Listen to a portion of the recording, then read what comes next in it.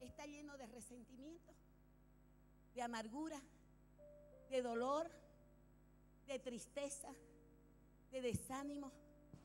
Y Dios está buscando, y siempre lo ha buscado, adoradores en espíritu y en verdad.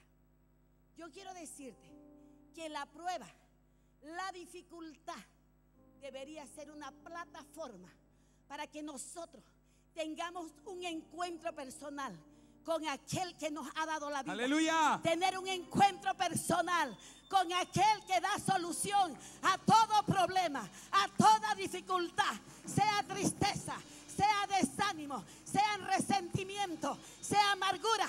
Tú tienes que liberarte, tú tienes que despojarte, despojarte, despojarte de todo lo que es carne, despojarte de ti misma para que tú seas la adoradora que Dios quiere, para que cuando nosotros nos acercamos al trono de su presencia podamos encontrarlo. Padre, en tu nombre, Jesús. Nombre que es sobre todo nombre. En los cielos, en la tierra y debajo de esta tierra. Nos presentamos delante de ti. Cual sea el momento que estemos atravesando. Señor, si hay resentimiento, si hay dolor, Señor, si ha habido dificultad en el hogar, con el esposo, con los hijos, con la familia, en este momento usted nos perdone, perdone todo pecado, perdone toda actitud, perdone, Señor, la dureza de nuestros corazones.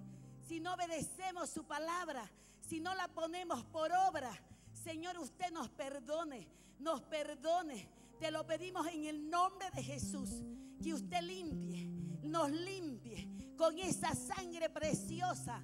Borre nuestras rebeliones, borre todo pecado. Señor, y usted pueda levantar, levantar cada vida, levantar cada vida. Cada vida, Señor, que haya llegado, si es tristeza, si es dolor, Señor, usted, Señor, en este momento, levanta a tu pueblo, levanta a tu pueblo, levanta a tu pueblo, levanta a tu pueblo, levanta a tus hijos, en el nombre de Jesús, en el nombre de Jesús, te digo que te levantes, te levantes en la fe en la fe, en la seguridad, en la confianza, que no estás sola, no estás solo, no estás solo, porque Él prometió estar con nosotros todos los días Aleluya. de nuestra vida hasta el fin del siglo. Él está con nosotros.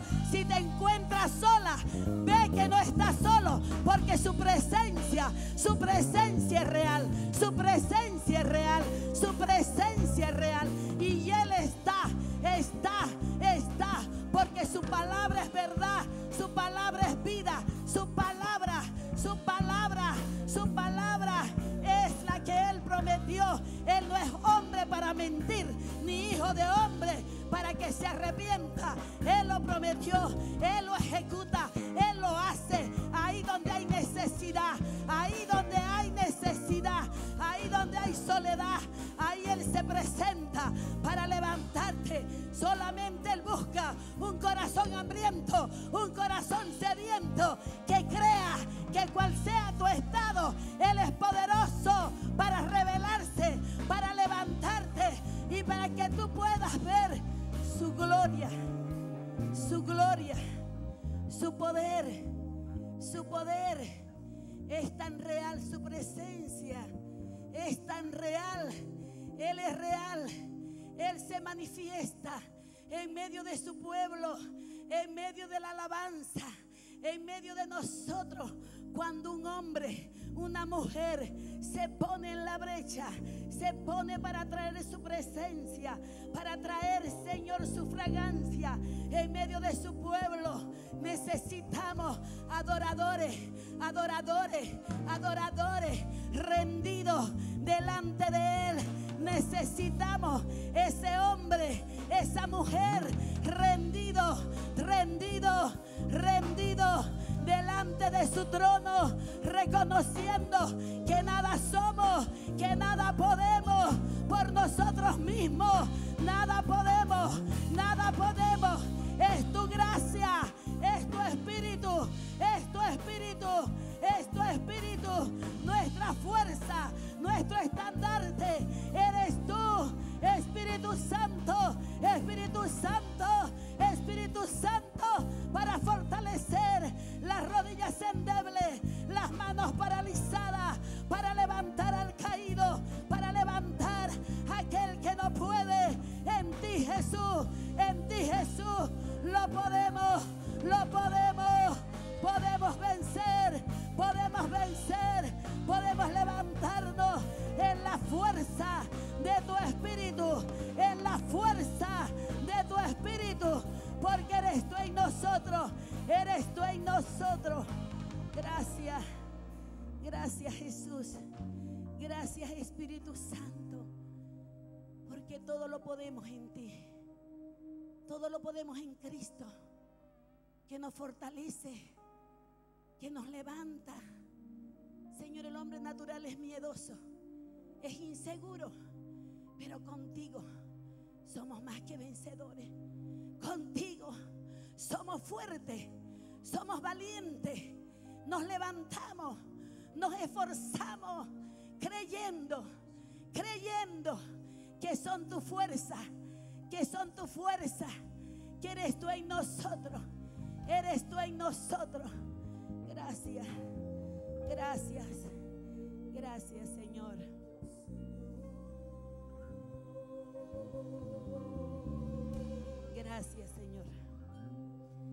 Aleluya. Pueden sentarse. La verdad que esta ha sido una semana donde me he sentido agotadísima. Después del, ayuno, en el ayuno estuve perfectamente. Pero después me he sentido muy agotada y buscando las fuerzas en Dios, reconociendo que solamente Él nos puede ayudar.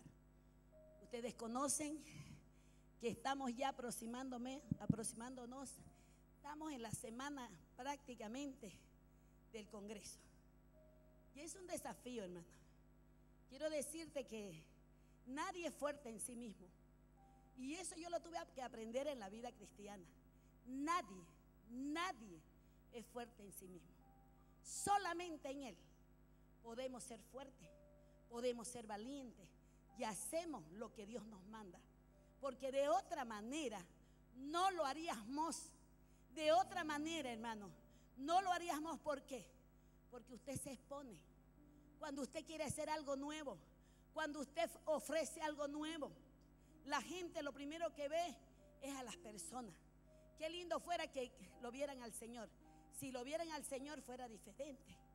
Pero como nos ven a nosotros como personas humanas todavía, entonces estamos expuestos pues, a un sinnúmero de cosas.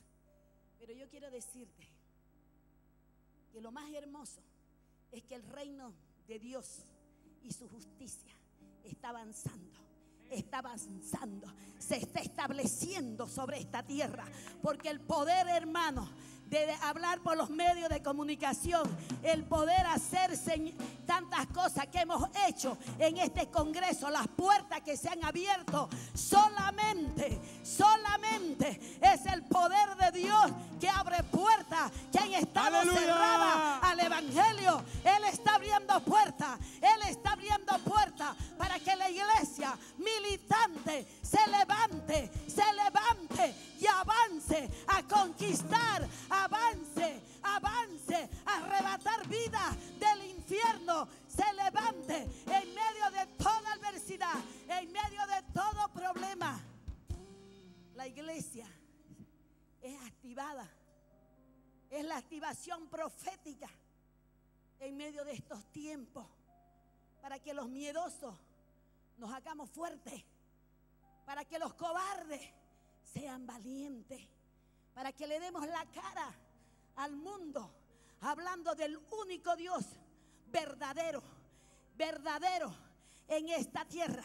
Él es el único, el único Dios todopoderoso. Él es el único verdadero, verdadero para levantarnos y para hacer su obra. Señor. yo te quiero decir, la iglesia, nosotros somos la iglesia. Somos el templo o casa de Dios. La palabra de Dios nos habla tanto realmente de lo que somos como iglesia. Yo soy casa de Dios, esa casa espiritual de Dios para que Él habite, para que Él habite. Y fíjese, construidas con piedras vivas. Tu vida tiene que ser una piedra viva para edificar la casa de Dios, para que Él pueda estar en medio de nosotros. Es ahora, hermano, el tiempo de reedificar. No podemos conformarnos con cualquier cosa.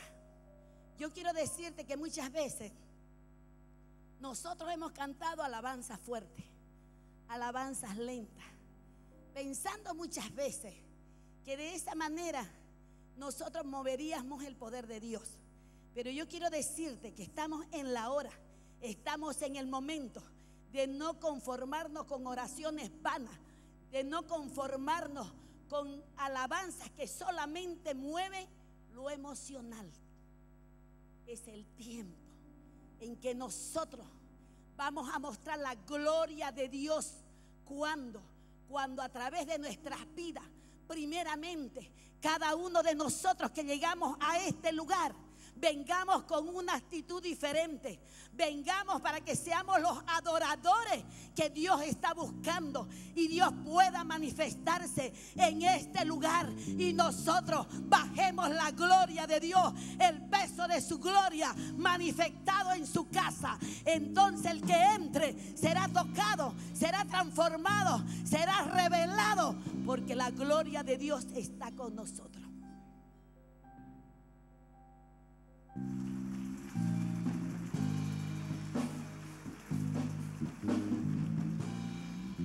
Una de las cosas que todos nosotros como hijos de Dios debemos querer es su presencia. La presencia de Dios. La presencia de Dios. Debemos desear esa presencia de Dios en nuestras vidas. Que la presencia de Dios esté en mi templo, esté en esta casa espiritual, que Él se manifieste de donde yo esté. La gente va a percibir algo diferente en tu vida cuando la presencia de Dios esté entronada en ti. Tu casa, tu hogar, tu familia será diferente cuando tu mamá, cuando tu papá, la presencia de Dios esté en ustedes, hermanos, esa casa, toda esa familia será transformada, será liberada, será desatada, será levantada por el poder de Dios, porque el primer efecto es nuestra familia, es nuestra casa y después, hermanos, vamos a avanzar hacia adelante, vamos a conquistar y vamos a tomar a todos los que nos rodean a todos los que nos rodean. No nos acostumbremos a venir aquí al templo, hermano, de cualquier manera. Busquemos la presencia de Dios. Busquemos el agradar a Dios. Y vamos a leer en Apocalipsis que nos da Juan un pantallazo de lo que es la adoración. Y delante del trono, Apocalipsis 4, del 7 al 11.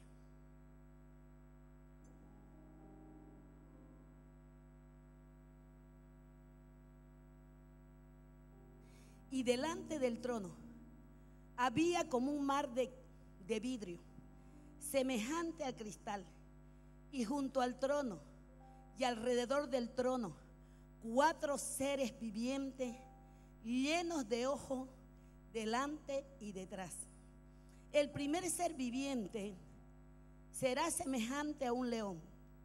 El segundo era semejante a un becerro. El tercero tenía rostro de hombre. Y el cuarto era semejante a un águila volando.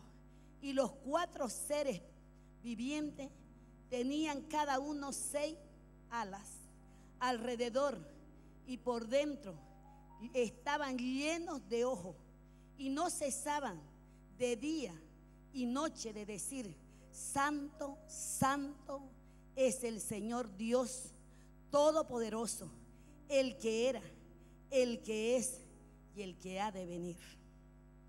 Fíjese, la adoración, hermano, quiero decirte, es esencial, fundamental, imprescindible para el mover apostólico y profético es una de las cosas que tiene que ser restaurada sí o sí. Si nosotros queremos ver un mover. ¿Por qué, hermano? Para que la iglesia del nuevo milenio debemos ser algo importantísimo en cuanto a la adoración para activar lo profético. Como yo te decía, nosotros necesitamos ser personas reveladas. Nosotros necesitamos, mientras más nos acercamos a la presencia de Dios, por eso es que el hombre tiene que pasar tiempo en la presencia de Dios. Tenemos que venir y rendirnos delante de Él, realmente humillándonos reconociendo que por nosotros mismos nada podemos, nada somos. Cuando lo buscamos a Él, lo vamos a encontrar, porque Él busca tener relación con sus hijos. Él busca que nosotros lo busquemos para conectarse con nosotros y revelarnos sus misterios y revelarnos su palabra y que nosotros como siervos de Dios que estamos al servicio de ustedes, hermanos, tengamos fuerza tengamos coraje, seamos valientes, seamos agresivos para hablarte, para golpearte, para moverte. Nosotros necesitamos la gloria, entrar a la adoración para poder tener esa intimidad con Él. De otra manera sería palabrerío de otra manera, hermano, lo que yo hablara por mi propia fuerza o por lo que yo entiendo, no te va a edificar. Edificamos cuando la palabra está ungida, cuando la palabra es revelada, cuando la palabra golpea, cuando la palabra te saca, te da movimiento, sacándote de lo viejo. Vemos un trono celestial a través de la palabra. Es un trono celestial, de esta adoración delante de su trono. Fíjense, solamente los querubines es realmente los que ellos están delante del trono de Dios diciendo, santo, santo, santo es el Señor. Y esto no lo dicen solamente una vez. ¿Cuántas veces lo dicen? ¿Cuántas veces lo has leído? ¿Cuántas veces lo hemos leído? Día y noche. Día y noche. Ellos no se cansan. ¿Cuántos de nosotros venimos a las bancas? Espero que no se duerman. Porque estas bancas no son para dormirse. Son para activarte. Para que tú estés firme. Para que tú estés despierto para que tú estés atento. Te estamos dando una comodidad para que tú la disfrutes, porque de eso se trata, de que Dios nos da lo mejor a los hijos, para que nosotros aprendamos a ver un Dios todopoderoso, un Dios que de poder, de amor y de misericordia, que nos ha dado todas las cosas en abundancia para que las disfrutemos en la tierra. No es para almacenar el dinero. El dinero tiene que invertirse en la obra tiene que invertirse en la obra, porque desnudo hemos venido y desnudo vamos a volver y nada nos vamos a llevar. Este trono celestial, fíjense, aquí nosotros, hermanos, el apóstol Juan nos está hablando en el libro de Apocalipsis precisamente, lo describe lo que ocurre en el tercer cielo todo esto que está ocurriendo en este momento en el tercer cielo. Ángeles que adoran al Creador. Fíjese, el Dios del universo, donde ahí están los querubines que saltan día y noche al Dios todopoderoso ante su presencia. Pero ¿qué pasa? Él refleja cuando una persona está en la presencia de Dios, como te decía, Dios le refleja su gloria, su naturaleza. Él se da a conocer al hombre. Dios se da a conocer a la persona. ¿Por qué nosotros te hablamos de las cosas de Dios? No solamente porque la leemos. Estuvimos hablando que la letra escrita es el logo. Pero esta letra, sin el espíritu, hermano, es una palabra muerta. Nosotros necesitamos la revelación de Dios en la palabra para que nosotros podamos entender lo que yo leo. No solamente lo voy a leer, Porque si fuera solamente por leer, yo creo que mucha gente está leyendo la Biblia. Pero hay una revelación de parte de Dios para aquellos que entran a esa presencia de Dios. Aquellos adoradores, porque Dios está buscando adoradores, personas rendidas, personas que se rinden, personas hermanos que a pesar de toda adversidad, a pesar de todo problema, a pesar de toda dificultad, venimos a la presencia de Dios y le decimos, Señor, es tuyo el problema, esta situación que estoy viviendo. Nos olvidamos de nosotros mismos para ir a tener una intimidad con Dios. Es la intimidad con Dios, es la comunión con Dios. Yo quiero decirte que hay momentos que usted no necesita ni siquiera hablar. Porque muchas veces tenemos una mente tan llena de tanta cosa que no sé qué decirle a Dios. Pero yo necesito venirme en silencio y postrarme delante de Él, rendirme delante de Él y ser esa adoradora, creyendo que aunque no tengo palabras para hablarle, ni sé cómo orar, Él me entiende. Él me entiende. Él sabe el momento que estoy pasando.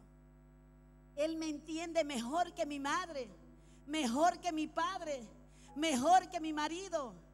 Él sabe dónde me duele. Él sabe lo que he pasado, lo que estoy viviendo en el momento. Pero debemos aprender a humillarnos delante de Él. Debemos, realmente nos hace falta ese tiempo a solas con Dios. Aprovechar el tiempo. ¿Por qué nos afanamos tanto? ¿Se dan cuenta? Vivimos afanados, vivimos turbados, vivimos nerviosos. Yo te lo hablo así porque yo muchas veces me encuentro en esas. Y solamente Dios dice que lo mejor es estar en su presencia. Lo mejor es estar en su presencia. Y nosotros debemos aprender, tenemos que aprender a venir delante de Él y rendirnos. Tener un tiempo de oración. Ahora, cuando yo hablo un tiempo de oración, muchas veces nosotros le damos una letanía a Dios. Nosotros recitamos versículos, recitamos todo. No, hermano.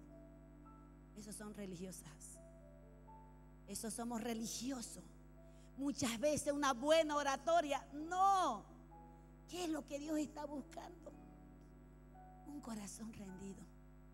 Un corazón que lo ame. Un corazón que se derrita delante de Él. Yo no sé si usted alguna vez se enamoró. Pero cuando usted se enamoró, usted soñó muchas cosas lindas.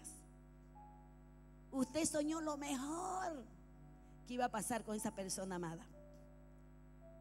Mire, Dios no defrauda a nadie. Enamórese de Él. Enamórese de Él. Porque usted va a sentir en su emoción. No es que no, no vamos a sentir en nuestras emociones. Dios sabe que somos personas emocionales, que necesitamos de sus caricias, que necesitamos de su abrazo, que necesitamos las palabras que Él nos diga. Yo en esta semana que estuve así, pensando, cuando me miro mi estado físico muchas veces, que me siento agotada, y miro toda la responsabilidad que tenemos, realmente a veces uno se quiere asustar. El Señor me dijo que solamente crea. Cree solamente. Y cuando uno cree, ¿qué pasa? Cuando uno solamente cree, verá su gloria. Verá su gloria. Porque solamente, solamente cree, dice el Señor. Cree, cree. Si estás en dificultad, cree. Si estás pasando malos momentos, cree que el Dios Todopoderoso está contigo para ayudarte, Pero el que cree tiene una actitud diferente, quiero decirte. El que cree se levanta, porque eso me sucedió. Yo me levanté y dije, Señor, el cansancio, la fatiga, el miedo y la de todo lo que pudiera estar atacándome, se va. Un cambio de actitud. Creo, Señor y eso es lo que nos hace falta. Movimiento, acción, hermanos, en esa fe, en esa confianza en Dios. Tenemos que levantarnos del estado natural en el cual nos encontramos creyendo que Dios tiene control de todo lo que me pase, de todo lo que necesito y de todo lo que va a ser el Congreso.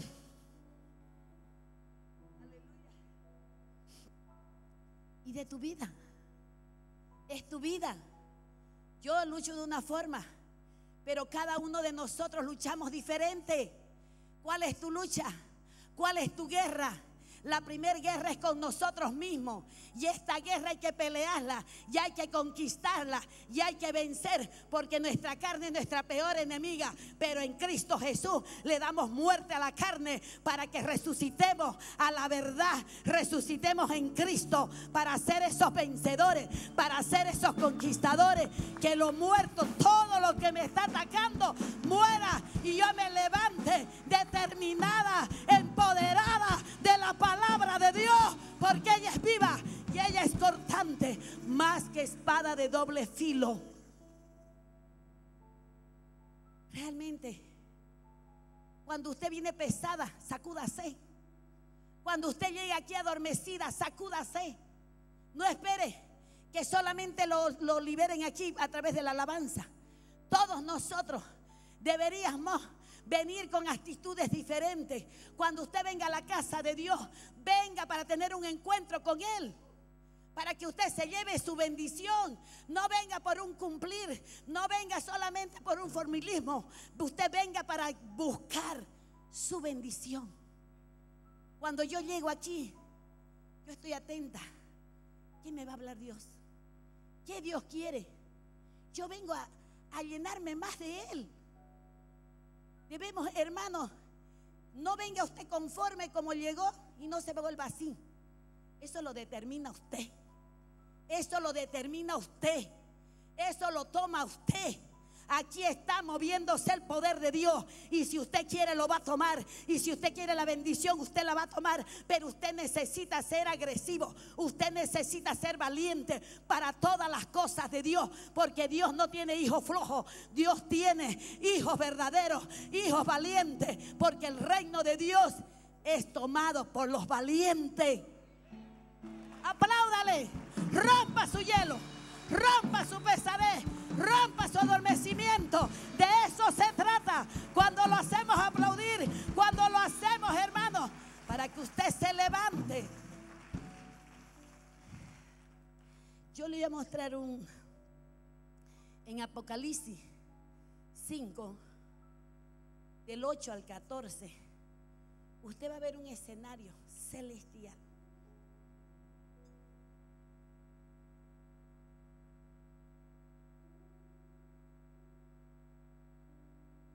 Favor, todos los que tienen su palabra, la Biblia, vamos a leer.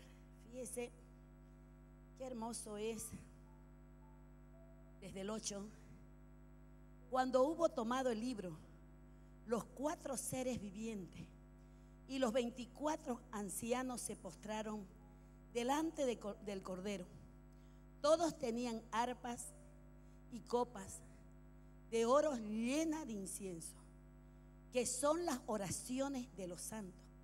Y cantaban un nuevo cántico diciendo, digno eres de tomar el libro y de abrir su sello, porque tú fuiste inmolado y con tu sangre nos has redimido para Dios de todo linaje y lengua y pueblo y nación, y nos has hecho para nuestro Dios reyes y sacerdotes y reinaremos sobre la tierra. Y miré y oí la voz de muchos ángeles alrededor del trono y de los seres vivientes y de los ancianos, y su número era millones de millones, que decían a gran voz, el cordero que fue inmolado es digno de tomar el poder, la riqueza, la sabiduría, la fortaleza, la honra, la gloria y la alabanza. Y a todo lo creado que está en los cielos y sobre la tierra y debajo de la tierra y el mar y todas las cosas que en ellos hay. Oí decir al que estaba sentado en el trono y al cordero, sea la alabanza, la honra, la gloria y el poder por los siglos de los siglos. Los cuatro seres vivientes decían amén y los veinticuatro ancianos se postraron sobre su rostro y adoraron al que vive por los siglos de los siglos.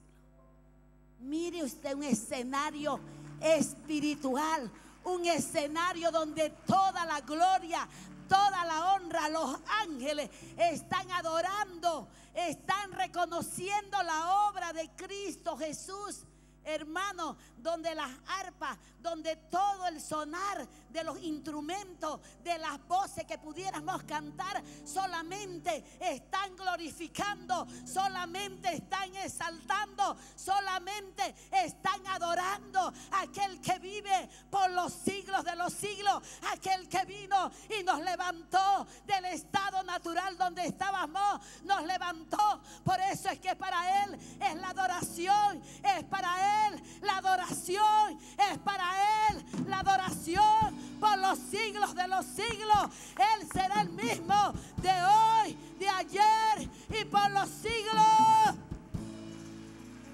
Reconocer que necesitamos ser adoradores Necesitamos ser agradecidos. Necesitamos humillarnos delante de Dios. Yo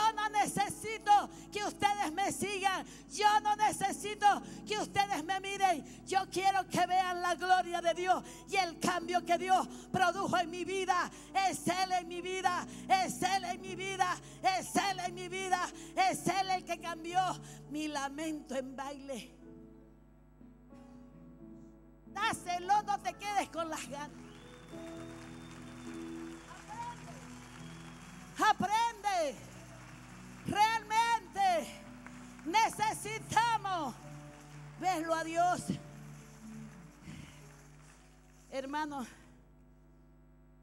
realmente, fíjese que solamente los querubines son los que adoran al Padre. ¿Por qué? Porque es ahí donde hay una revelación constante, continua, para adorar como ellos lo hacen. Y Él está trayendo Dios una revelación a ellos continuamente. De esa misma manera, cuando nosotros somos esos adoradores, hermanos, la revelación de Dios va a ser continua en nosotros. Y nosotros cada día vamos a aprender a humillarnos más delante de la presencia. Porque cuando tenemos conexión con Él, intimidad con Él, usted se siente tan nada, usted se siente tan pequeño, usted se siente que nada podría hacerlo si no fuera Él en usted. Por eso es que el hombre no puede alabarse. Por eso es que el hombre no puede saltarse. Porque es Él. Es Él en nosotros. Es Él en nosotros. El que está realmente revelándose, ayudándonos. Pero mientras usted como persona, usted no se despoje de todo lo que es carne, usted no podrá ser un adorador. Porque usted necesita despojarse de toda carga que usted está trayendo. Toda carga, toda ansiedad, toda preocupación, todo lo que sea humano su carne le impide entrar a ese lugar santísimo, a tener esa relación con Dios. Cuando usted llegue a esta casa, cuando usted está aquí, por lo menos, hermano, conéctese con Él. No permita que nada lo distraiga. No permita que nadie, nada lo perturbe. Busque su presencia. Busque su presencia. Busque conectarse con Dios. Porque realmente, como te decía, hay una transformación. El hombre que está cerca de Dios va a ser transformado continuamente. ese hombre que Dios toma. No te olvides que somos, estamos como un, decían diamante en bruto antes, ¿no verdad? Estamos como una pieza en bruta, donde Dios comienza a limpiar toda la escoria. Dice como al oro. Él va a sacar toda la escoria. Él va a sacar todo formulismo, todo hábito, toda costumbre. Por eso cuando a nosotros nos dicen algo, deberíamos prestar oído. Y yo, hermano, tomo decisiones diariamente y cambiar, cambiar de actitud, cambiar mi forma de ser, cambiar lo malo que me están viendo otras personas que yo tengo. Porque una de las cosas que nos pasa es que nosotros pensamos que estamos muy bien. Que todos cambien menos yo. Aquí es para el que se humilla. Aquí es para el que se humilla. Aquí es para el que, aquel que se, se despoja del mismo. Se despoja de todo lo que es carne.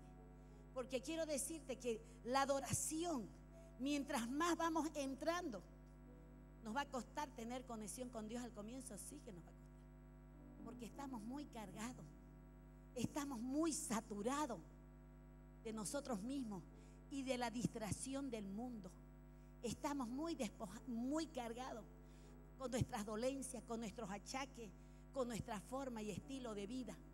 Pero cuando usted venga a la presencia de Dios, de a poco usted va a sentir que eso va a ir liberándose. Porque usted va a comenzar a ser revelada. Usted va a comenzar a ser un hombre revelado, una mujer revelada. Donde usted comienza a entender que el toque de Dios es tan hermoso que usted comienza a mirar las cosas de arriba. Ya no le van a llamar tanto la atención las cosas de abajo. Su mirada comienza a subir hacia arriba, mirando que todo lo que el mundo le pueda dar es tan pasajero. ¿Y sabe qué? La vida continúa. Los años van pasando. ¿Y quiénes son los que se vuelven viejos? Somos nosotros. Pero hay una continua renovación en la presencia de Dios. Hay una continua, una continua renovación en la presencia de Dios. Por eso es que nosotros necesitamos ser esos adoradores en este tiempo donde estamos activando lo apostólico, lo profético. Es para ayudarle a usted, hermano, que no se atreve a buscar la presencia de Dios, que no se atreve a despojarse de sus cargas, de sus limitaciones, porque en esa activación profética es el Espíritu Santo activándonos, ayudándonos, moviéndonos a avanzar a conquistar, a tomar lo que tenemos a la mano, hermano, porque todo, todo se nos ha sido entregado. Cristo nos entregó una vida de abundancia. Pero ¿cuántos de ustedes viven peleando con la mujer? Si yo tengo una vida de abundancia, es para que yo me niegue a mí misma y yo pueda vivir con mi esposo y voy a vivir bien, aunque no me parece su forma de ser, aunque él es diferente. Nuestras diferencias harán lo perfecto.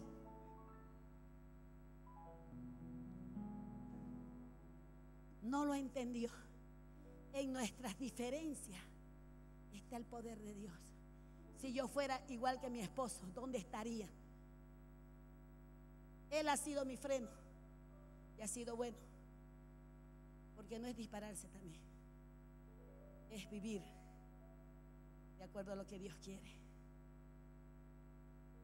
Pero aquí vemos nosotros algunas cosas que suceden a un adorador cuando estamos continuamente adorando a Dios. Podemos ver su trono, ese trono celestial donde están los ancianos, donde están los testigos, donde están los ángeles, adorando, santo, santo, santo, santo. Santo es el Señor. Realmente, donde ellos toman su corona, vamos a ver, y la tiran a la presencia de Dios.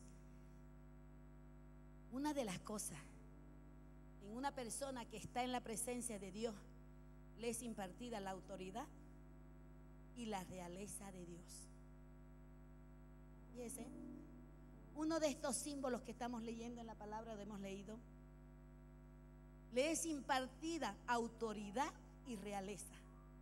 El rostro como de león que hemos leído, hermano, es Jesucristo. Jesucristo revelado a nosotros. Jesucristo tiene que ser revelado a nosotros. Nosotros lo hemos leído como una historia solamente, como algo que Cristo hizo. Pero yo quiero un Cristo revelado en mi vida. Yo quiero la autoridad. Yo quiero su realeza. Yo quiero ser su imagen. Yo quiero ser su boca. Yo quiero ser sus pies. Yo quiero que Cristo esté engendrado en mí y que todo lo que haga glorifique, glorifique, glorifique a aquel que dio todo por mi vida. Yo también debo darlo todo por Él. Otra de las cosas que le he impartido a una persona que está en la presencia de Dios es su amor y el don al servicio. Y este es el rostro de Wayne. Hemos leído en la cita de Apocalipsis, nosotros lo hemos leído ahí, de los cuatro seres vivientes. Fíjese, ¿qué es impartido? Su, su, su don le es impartido el rostro, el rostro de león, leímos, ¿no verdad? Entonces, ese es el rey, Jesucristo, el rey de la selva, como se decía. Ahora, al rostro de águila, ese rostro de águila que nosotros vemos, todas estas cosas son características de Jesús. ¿Y qué es lo que Dios imparte a una persona que está en su presencia? Su amor y el don al servicio.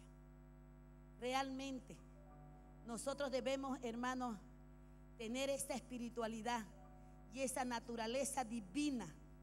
Realmente lo que Dios quiere hacer.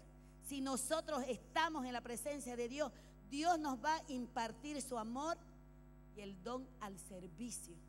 Esto es el rostro de Güey. Fíjese cuando uno, digamos, ¿por qué es que uno se apasiona tanto con el servicio? ¿Por qué es que uno se apasiona con lo que Dios, sirviéndolos a ustedes?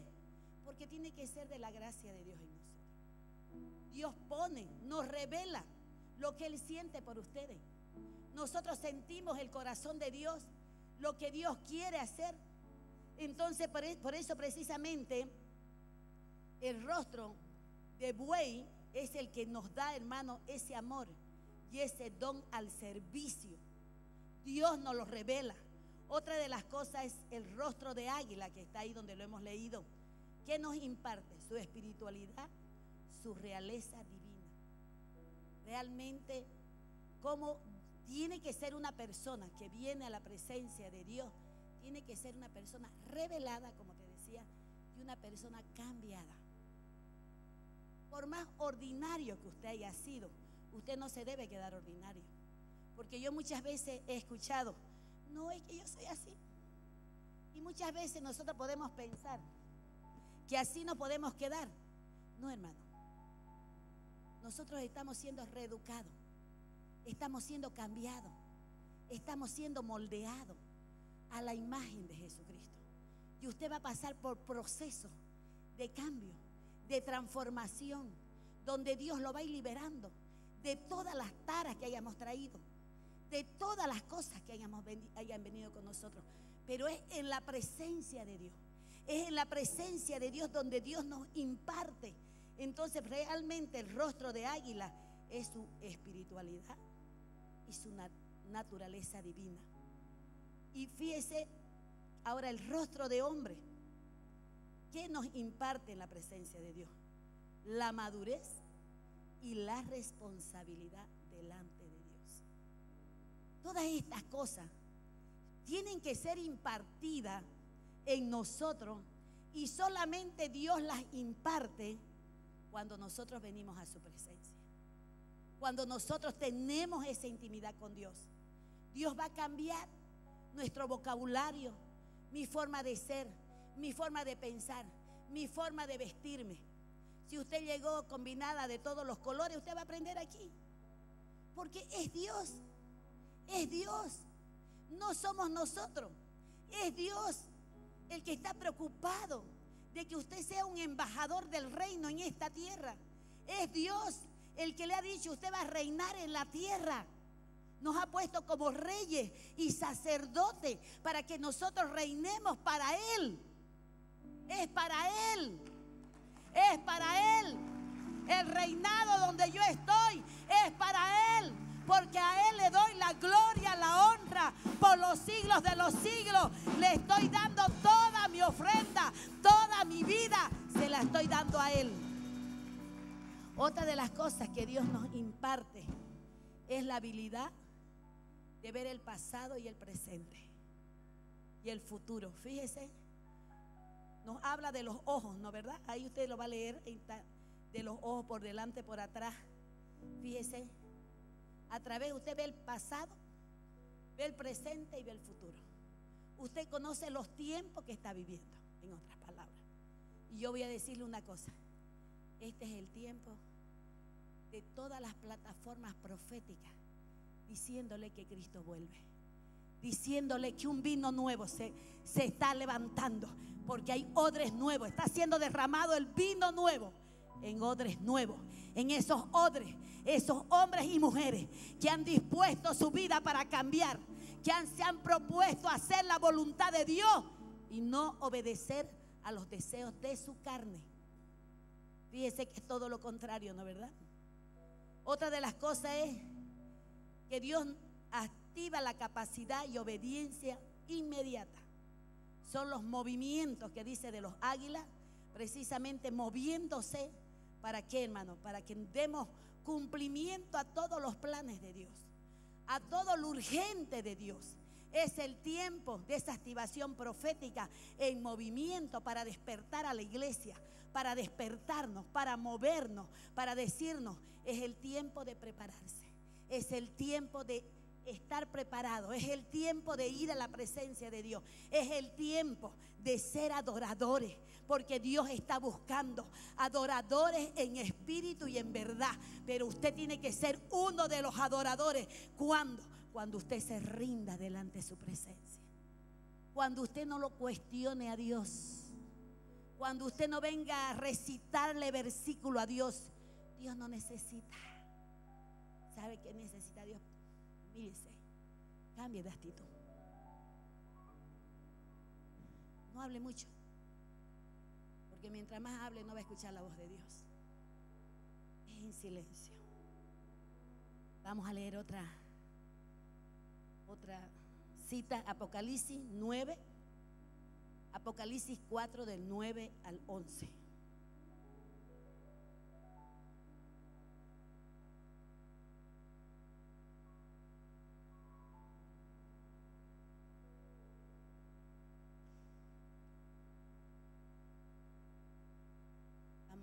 Qué dice la palabra del Señor.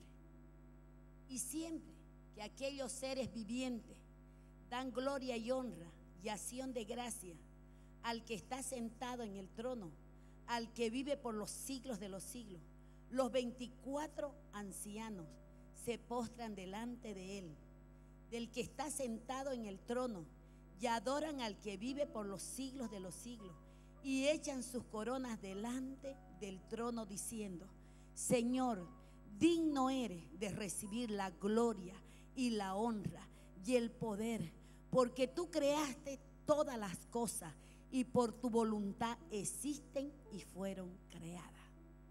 Fíjese, oiga, si nosotros leemos Apocalipsis, está lleno de adoración. En ese, en ese, realmente ese trono celestial Solamente hay adoración a Dios. Y en este trono, aquí hermano, en este lugar, debería haber solamente adoración que nosotros podamos hablarte para que tú puedas ser golpeado, para que tú puedas ser movido, para que tú puedas ser levantado, para que tú puedas reconocer que Él es el único digno de la alabanza, de la gloria y que tú, hermano, has sido llamado para humillarte delante de su presencia y que si algo bueno hay en ti, algo, alguna virtud, es para Él. Es para Él. Es para Él.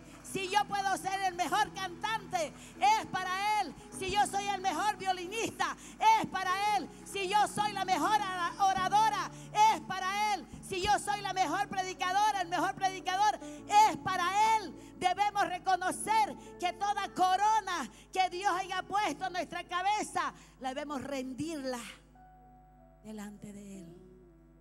Cuando usted se saca su corona, se despoja de su vestidura de rey o de reina y se la rinde a Él. Esa es la adoración que Dios está buscando. Esa es la adoración donde usted no se engrandece, donde usted engrandece al que vive, al que reina, al que está con nosotros cada día, ayudándonos. Hay una intercesión continua delante del trono de Dios para que nos mantengamos firmes a pesar de toda prueba, a pesar de todo obstáculo. El mayor intercesor, Jesucristo, está a la diestra del Padre. Su Espíritu Santo está en nosotros, ayudándonos, ayudándonos para avanzar, para no quedarnos en el camino, para no salirnos del camino, para que podamos detenernos creyendo, creyendo, creyendo de que Dios lo prometió y Él lo ejecuta en la vida del hombre. Debemos ser adoradores porque de eso se trata. Fíjese que necesitamos de esta adoración que active los remas de Dios. Necesitamos los adoradores que activen, que muevan en los aires, que muevan la revelación, que los remas de Dios vengan a nosotros, golpeándonos, ayudándonos, abriendo tu mente para que lo entiendas, la dureza que hay en tu corazón, para que comiences a verte y a conocerte tú misma, hermana, tú mismo, hermano. Cuando tú seas tocado por la revelación de Dios, vas a conocer tu estado natural. Por eso es que nosotros le echamos la culpa al que está al lado. ¿Cuándo te la has echado tú? Te la echas la culpa, ¿sabes cuándo? Cuando el rema de Dios, su revelación te toca. Vas a decir realmente, yo pensé que era el verdugo o la víctima, pero había sido el verdugo. Muchas veces tenemos esa actitud tan dura con el marido o el marido con la mujer. no nos olvidemos que Dios está con nosotros. La última cita que voy a leer, hermano, es Segunda de Reyes.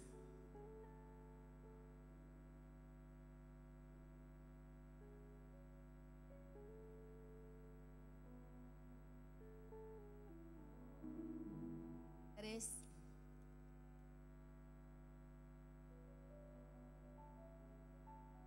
Tres, quince y dieciséis. Entonces yo te decía, hermano, que la adoración al Señor en el trono, esto es la adoración intensa, profunda, que tiene que manifestarse en una plataforma profética. La adoración toca a Dios y Él siempre responde llevándonos a las profecías, a esa activación de un cántico nuevo de un cántico profético, de una adoración activada, activada hermano poderosamente en el fluir, en el rema de Dios. Nosotros aquí yo creo que vamos a tener que entrar más buscando más del Señor. ¿Sabe qué? Porque lo de Dios revelado es espontáneo. Cuando Dios se revela es espontáneo. Aquí, digamos, vamos a tener los músicos y en esta activación profética debería comenzar a entonar nuevos cantos. Debería Dios comenzar a fluir en todo esto.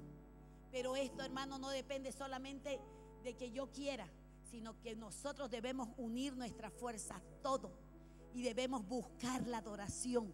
Debemos buscar ser esos adoradores, ser esos adoradores para que el rema de Dios me toque, para que su revelación me haga fluir, me haga fluir, me haga hablar, me haga, me desate en mi humanidad, me desate, me libere. Necesitamos ser liberados en nosotros mismos. Liberados. Todos, en las diferentes, donde estemos nosotros. Necesitamos esa liberación para que el fluir de Dios sea mayor aquí en esta casa y en cada uno de nosotros. Y fíjese, hermano, si nosotros vamos, si sabemos que es una plataforma profética, la adoración, como te decía, que toca a Dios, es lo primero que Dios está restaurando, es la adoración, es la alabanza, es el juego de Dios en los altares, es el juego, es su presencia. Usted puede hallar una persona que habla muy lindo, muy bonito, pero usted quiere vida. Usted no solamente quiere una oratoria buena, usted necesita vida, usted necesita verlo a Dios actuando, hablándole, confrontándolo, porque de eso se trata la activación profética. Esta alabanza que nosotros cantamos lo enchufe a usted, lo enchufe y usted sea trasladado al tercer cielo, que se olvide de lo terrenal. Fíjese, vamos a leer, más ahora dice traed, traedme un tañador. Y mientras el tañador tocaba, las manos de Jehová vino, la mano de Jehová vino sobre Eliseo, quien dijo, así ha dicho Jehová, hacer en este valle mucho estanque. ¿Qué es un tañador? Tañador. ¿Qué es un tañador? Es uno que tocaba y a través de, ese instrumento, Él traía la presencia. Él traía la adoración. Él era un adorador. Era un adorador donde Dios se manifestaba. Y cuando Dios se manifestaba, Dios instruía. Y fíjese que aquí le dijo, si ustedes lo siguen leyendo, es tan hermoso. Yo no te lo voy a leer porque se me fue el tiempo. ¿Sabe qué? Hagan estanque, le dijo. Pero estos estanques no van a ser llenos por la lluvia, le dijo. No va a caer lluvia del cielo. Sigan ustedes leyéndolo. Tarea para la casa. Estos estanques van a ser llenos por el agua que va a correr de la adoración. Estos pozos se iban a llenar de esa adoración cuando la adoración de Dios baja, se manifiesta.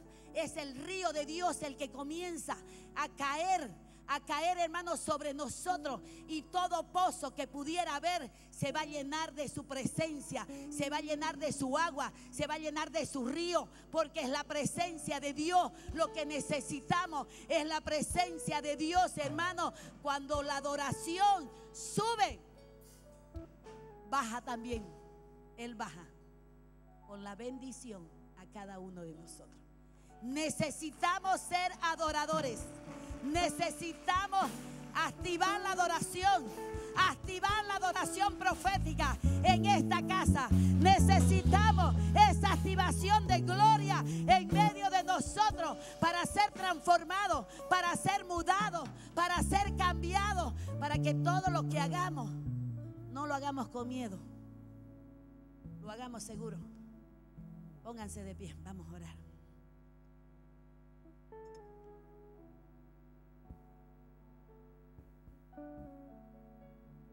Quiero decirte que este es un tiempo de adoradores.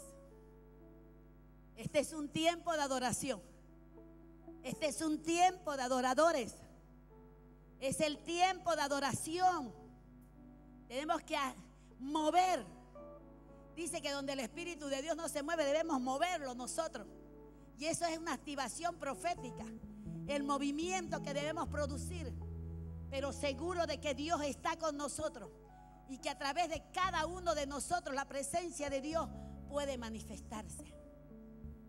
Padre, en tu nombre, en tu nombre Jesús, en el nombre de Jesús, creyendo los tiempos que estamos viviendo, en esta activación profética, en medio de estos tiempos, Señor, donde tú has traído el rema, el rema de tu palabra para que esta palabra la podamos entender, para que esta palabra no solamente la leamos porque está escrita, sino que una revelación tuya venga hacia nosotros.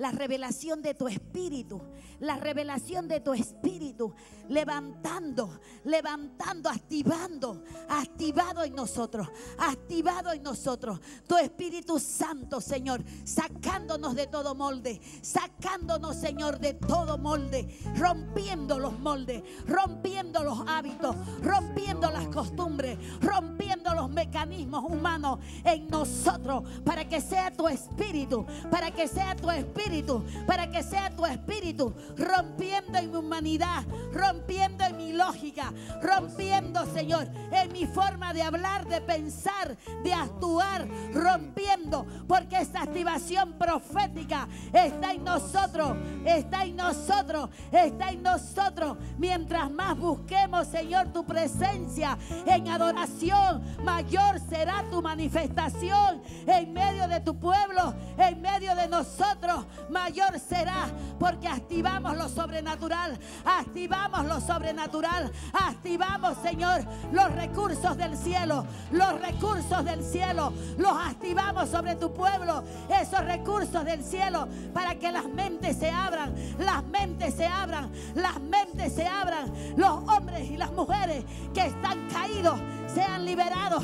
Señor, en tu nombre Jesús, yo hablo, Señor, le hablo al hombre, le hablo a la mujer de Dios, en el nombre de Jesús, en el nombre de Jesús, rompiendo, rompiendo todo lazo, rompiendo todo paradigma, rompiendo los moldes, los moldes, los moldes, las cadenas, los lazos que no nos dejan ser diferentes, en el nombre de Jesús, en el nombre de Jesús, en el nombre de Jesús, en el nombre de Jesús, rompo, rompo, tu estado, en tu estado natural, rompo, rompo, en el nombre de Jesús, en el nombre de Jesús. Declaro, Señor, declaro, Señor, que hay una activación mayor, hay una activación mayor sobre nosotros, mayor, mayor, Señor, será tu gloria, tu gloria postrera que la primera, porque hay un comienzo, hay un comienzo sobrenatural, sobrenatural, sobrenatural, golpeando, golpeando en los aires, golpeando en la tierra, golpeando la humanidad del hombre, golpeando, golpeando, golpeando, golpeando, golpeando,